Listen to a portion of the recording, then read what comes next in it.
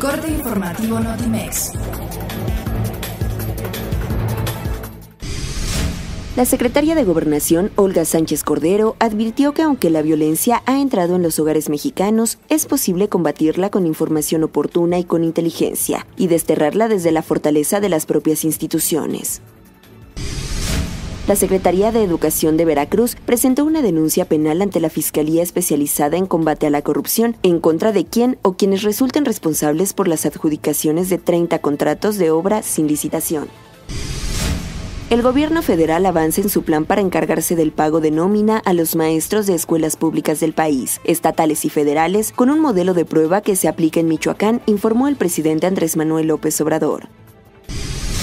Este lunes, cuatro de los cinco ex candidatos a la gubernatura de Baja California presentaron en la Suprema Corte de Justicia de la Nación el recurso Amicus Curiae, amigos de la Corte contra la ley Bonilla, en aras de que las decisiones del mandatario Jaime Bonilla sean solo para dos años y no para cinco.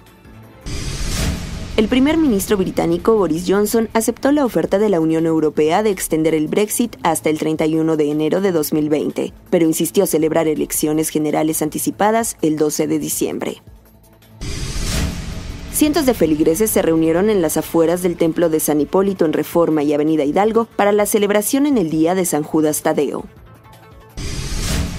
En un encuentro inédito en la historia de Argentina, el presidente electo Alberto Fernández y el mandatario en funciones, Mauricio Macri, sostuvieron una reunión en la sede de la Casa Rosada a fin de lograr una transición ordenada. Notimex, Comunicación Global.